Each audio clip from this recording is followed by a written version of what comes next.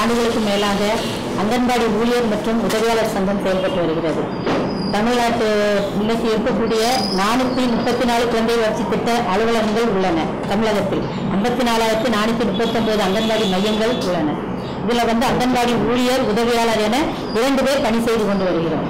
ஆயிரத்தி தொள்ளாயிரத்தி எழுபத்தைந்துக்கு முன்பே காமராஜர் காலத்திலேயே இது பால்வாடியாக செயல்பட்டு வந்தது.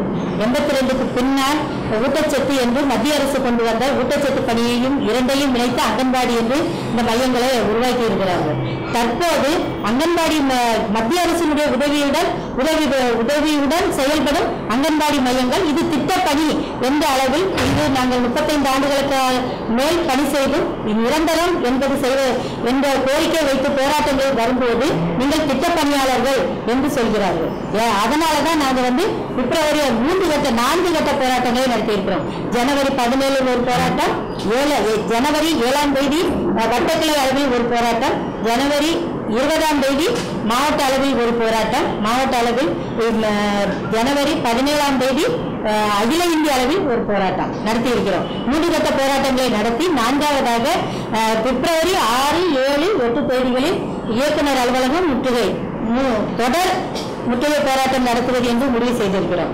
இந்த முடிவின் அடிப்படையில் தற்போது அரசு பேச்சுவார்த்தைக்கு அழைத்திருக்கிறது.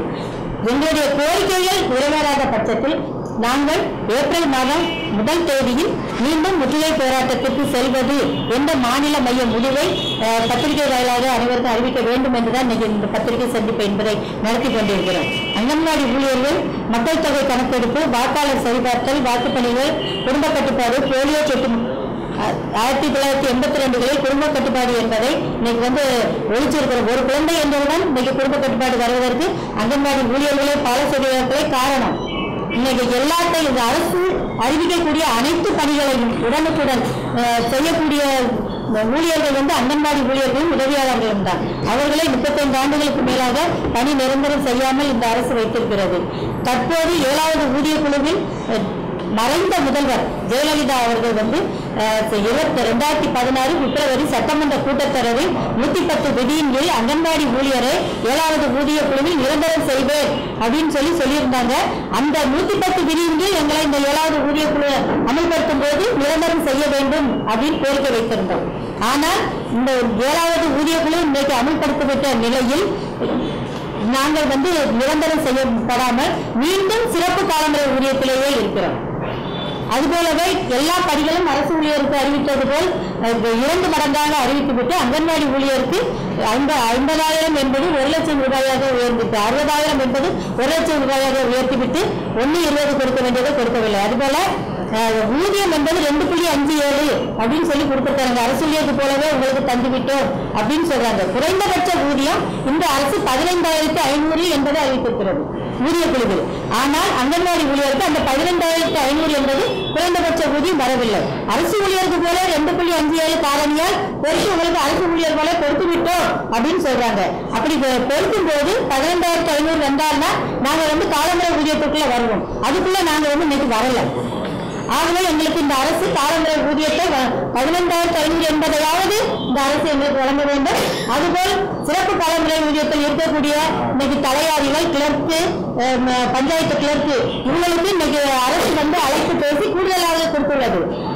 பஞ்சாயத்து கிளர்க்கு தலையாரிகள் அங்கன்வாடி ஊழியர்கள். நாங்க மூணு மூ- பகுதியும் தான் சிறப்பு காலமுறை ஊதியம் ஒன்று மேல வாங்கிட்டு இருந்தோம். ஆனால் அவர்கள் இருவருக்கும் இன்னைக்கு ப- தலையாரிக்கு மூணு புள்ளி அஞ்சு ஏழு கொடுத்திருக்கிறாங்க.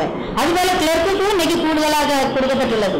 தமிழகம் முழுவதும். அங்கன்வாடி ஊழியர்கள் மட்டும் இந்த அரசு வந்து கணக்கில் எடுத்துக்கொள்ளாமல் அவர்கள் இருவரையும் நாங்கள் பெண்களாக இருப்பதால் இன்னைக்கு வந்து போராட்டத்திற்கு செல்லும் போது அழைத்து பேசுகிறோம் அப்படின்னு சொல்லிட்டு ஆனால் சொன்னது அம்- மறைந்த முதல்வர் சொன்னதை இன்னைக்கு அமல்படுத்தாம விட்டுட்டாங்க. எனவே எங்களுடைய அம்ம- மாநில மையம் அதை வந்து வன்மையாக வந்து இந்த அரசு எங்களை ஒரு கண்ணில் வெண்ணையும் ஒரு கண்ணில் சுண்ணாம்பு வைத்து எங்களை வந்து அது மாதிரி பராமரிக்கிறது அப்படி என்பதை நாங்கள் சுட்டிக்காட்ட விரும்புகிறோம்.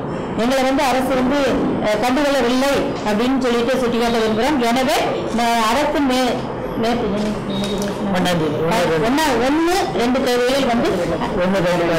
மாநில நிர்வாகிகள் கூட்டம் என்பது நடத்தப்பட்டு கூட்டத்தின் அடிப்படையில் ஒன்னாம் தேதி கூட்டுச்சங்க பேச்சுவார்த்தைக்கு போனோம்.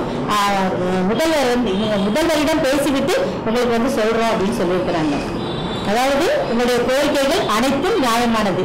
இயக்குனர் மற்றும் குழும இயக்குனர் எங்களுடைய முதன்மை செயலாளர் அமைச்சர் சரோஜா மேடம். இவங்க எல்லாம் எங்களை கூப்பிட்டு பேசினாங்க. உங்க கோரி கோரிக்கை நியாயமானது. உங்க கோரிக்கை நிறைவேற்றப்படும் அப்படின்னு சொல்லியிருக்கிறாங்க. எனவே இந்த ஆறு ஏழு வச்சிருக்கிற போராட்டத்தை கொஞ்சம் நீங்க ஒத்தி வைக்கணும் தள்ளி வைக்கணும் அப்படின்னு கேட்டிருக்கிறாங்க. அந்த அடிப்படையில் மார்ச் வரைக்கும் தள்ளி வைப்பது ஏப்ரல் முதல் வாரத்தில் அது அதாவது இந்த பட்ஜெட் கூட்டத்தொடரில் அறிவிக்கவில்லை என்றால் அரசு அறிவிக்கவில்லை என்றால் நாங்கள் வந்து ஏப்ரல் முதல் தேதியில் மீண்டும் முற்றுகை போராட்டத்தை நடத்துவோம் அப்படின்னு சொல்லிட்டு இந்த அரசுக்கு தெரிவித்துக் கொள்கிறோம். பேச்சுவார்த்தை செய்யணும் சும்மா இப்ப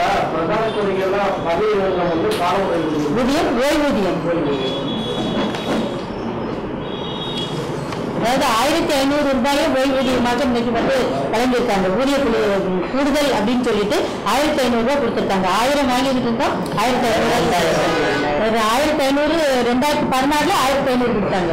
இப்போ வந்து ஊதிய குழுல ரெண்டாயிரம் என்பது வழங்கப்பட்டிருக்கு. இந்த ரெண்டாயிரத்தை ரெண்டு புள்ளி அஞ்சு ஏழால பெருக்கி எங்களுக்கு கொடுக்கணும் அப்படின்னு சொல்லிட்டு நாங்க கேட்கிறோம் இல்ல மூணு எண்ணூறு வருது சார். ஆயிரத்தி ஐநூறு ரெண்டு பேர் வேலை இருக்குன்னா ஐநூறு ரூபாயா கூடுதல் கொடுத்துருக்காங்க. ஆயிரத்தி ஐநூறு என்பது ரெண்டாயிரம் மாசப்பட்டிருக்கு. நாங்க என்ன சொல்றோம்? ஆயிரத்தி ஐநூறையாவது நீங்க ரெண்டு புள்ளி அஞ்சு ரூபாயா பெருசி கொடுக்கணும். ஏன்னா அரசியல் போல உங்களுக்கு கொடுத்துட்டோம்னு சொல்றாங்க சம்பளத்துல ஊதியத்துல. அது மாதிரி பென்ஷன்லையும் தர கொடுக்கணும் அப்படின்னு கோரிக்கை வச்சிருக்கிறோம். சார் பதினஞ்சு ஐநூறு.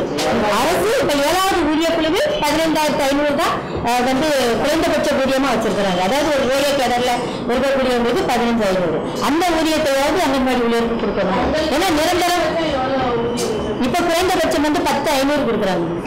பத்து ஐநூறு. பதினொன்று சென்னைக்குள்ள பதினொன்று ஐநூறு கொடுக்குறாங்க. சிட்டி அலவன்ஸ் எல்லாம் சேர்த்து பதினொன்று ஐநூறு. சிறு தலைமுறை நாங்க வந்து இன்னைக்கு ஒரு ல- ஒரு லட்சத்தி நாலாயிரம் ஊழியர்கள் வந்து இருக்கணும். ஒரு லட்சத்தி நாலாயிரம் பேர் இருக்கணும். ஆனா ஒரு பன்னிரெண்டு மாவட்டங்கள்ல இன்னும் வந்து நிரப்பப்படாம காலி இடம். காலி காலி பணியிடம் வந்து இப்போ எல்லா மாவட்டங்களிலுமே இருந்துச்சு. அறுபது சதவீதத்துக்கு மேல காலி பணியிடம் இருந்துச்சு. இப்ப ரெண்டு மாசத்துக்கு முன்னாடி தான் நிரப்பிட்டாங்க.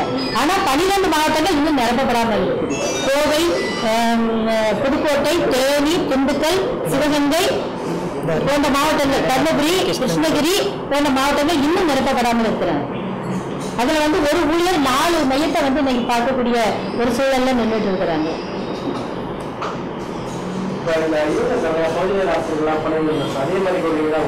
இல்ல இல்ல இல்ல. நாங்க முப்பத்தஞ்சு ஆண்டுகளுக்கு மேல இருக்கிறவங்களுக்கு நாங்க இருபத்தஞ்சு வருஷத்துக்கு மேல இருக்கிறவங்களுக்கு தான் நீங்க கொடுக்கணும் அப்படின்னு ஏழாவது ஊதிய குழுவில் அந்த வல்லுநர் குழுவில் நாங்க வந்து கொடுத்துருக்கோம். ஏழரை மணி நேரம் வேலை அதாவது எட்டு எட்டு நாலு மணி வரைக்கும் ஏழரை மணி நேரம் வேலை செஞ்சுட்டு இருக்கோம் நாங்க. ரெண்டு திட்ட பணிகளை செஞ்சுட்டு இருக்கோம் இப்ப பிப்ரவரி மாசம் நடக்க வேண்டிய வேலை நிறுத்தத்தை நீங்க தள்ளி வச்சிருக்கீங்க. அடுத்த மாசத்துக்கு பட்ஜெட் கூட அப்புறம் அவங்க முடிவை இது ரெண்டு நிமிஷம்